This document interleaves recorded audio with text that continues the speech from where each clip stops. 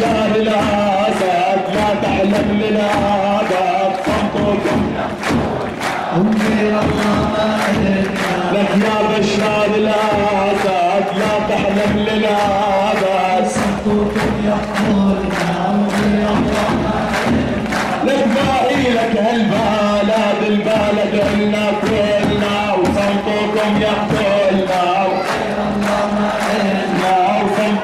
يقتلنا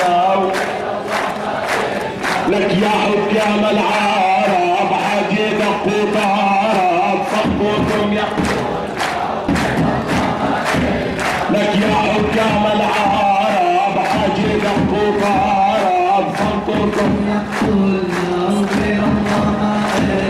البيت من من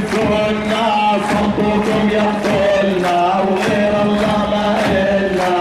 يا يقتلنا